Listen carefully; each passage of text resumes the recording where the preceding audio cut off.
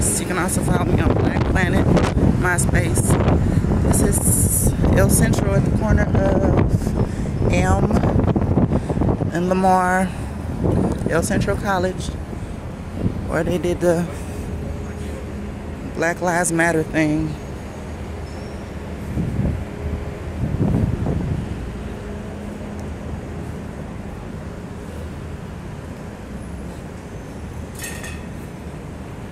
You still see the state troopers out here in police cars, and public Department of Safety.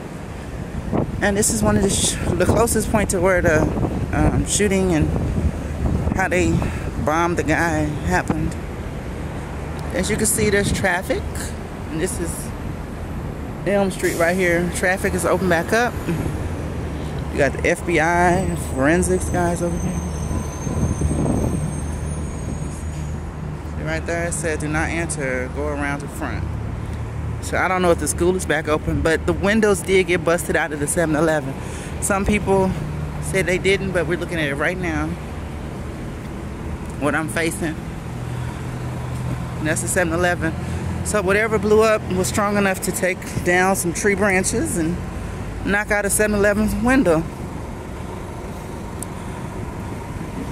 There's still a strong heavy police presence right here but this your girl, Web Mistress, aka I'm everything in Dallas. On the side, back side of El Centro College.